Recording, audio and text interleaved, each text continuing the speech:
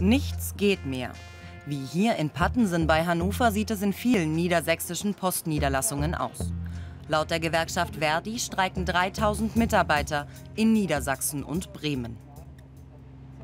Ich möchte, dass äh, die Post an ihren alten Statuten festhält und äh, die Arbeitszeit nicht nach hinten verschiebt. Konkret bedeutet das, dass wir nicht in Billiggesellschaften abgeschoben werden. Die Belastung steigt maximal, natürlich nicht für mehr Geld. Mittlerweile ist es so, dass wir sogar weniger Geld dafür bekommen sollen durch die neu gegründete Delivery-Firma.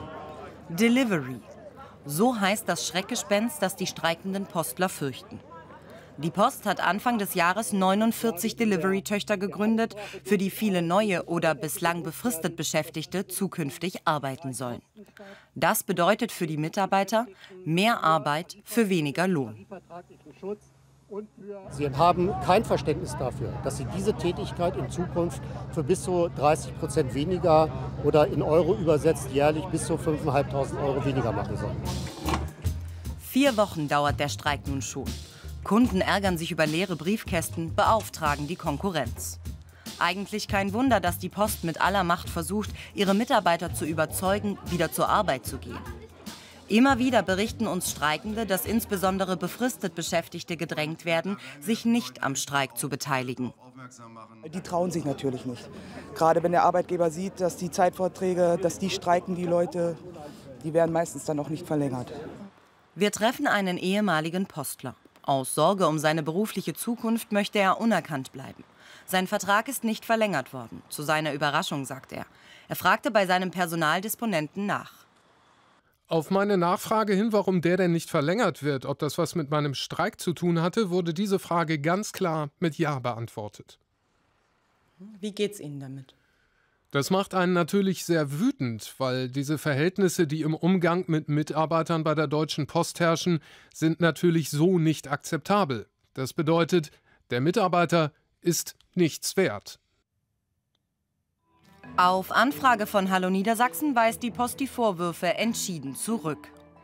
Die Deutsche Post AG beachtet und respektiert selbstverständlich vollumfänglich das Streikrecht der Beschäftigten.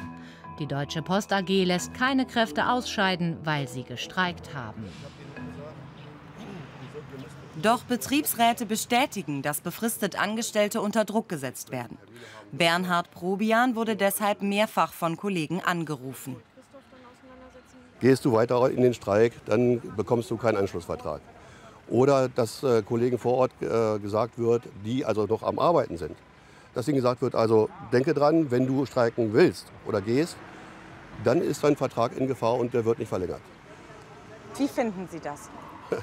Mit Verlaub, das finde ich zum Kotzen, weil hier wird den Kollegen ein Grundrecht verwehrt, das eigentlich allen Mitbürgerinnen und Mitbürgern offen steht. Der Arbeitsrechtler Rolf Schäfer hält solcherlei Drohungen sogar für illegal. Der Arbeitgeber, vertreten auch durch den Vorgesetzten, darf das Streikrecht der Arbeitnehmer nicht beeinträchtigen. Und mit Drohungen, die haben sowieso nichts zu suchen im Arbeitsverhältnis, aber Drohungen, damit nicht gestreikt wird, das geht gar nicht. Und mehr noch. Die Betriebsräte einer Niederlassung in Braunschweig haben von der Post diesen Brief erhalten. Darin heißt es, Zudem gilt für Betriebsräte, welche Streiktätigkeiten wahrnehmen, ein Hausverbot für alle unsere Betriebsstätten. Kein Zutritt in das Betriebsratsbüro. Bisher wurde das Hausverbot allerdings nicht umgesetzt. Aber Betriebsräte sehen den Brief als klare Drohung. Die Post weist das zurück.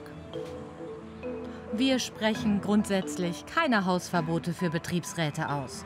Die Post AG fördert die Mitbestimmung ihrer Mitarbeiter. Das gilt auch für die Arbeit des Betriebsrates.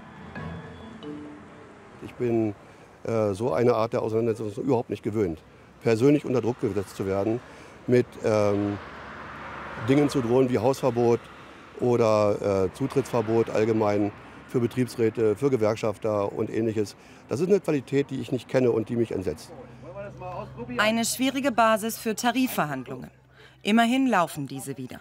Postkunden in ganz Niedersachsen hoffen auf eine schnelle Einigung.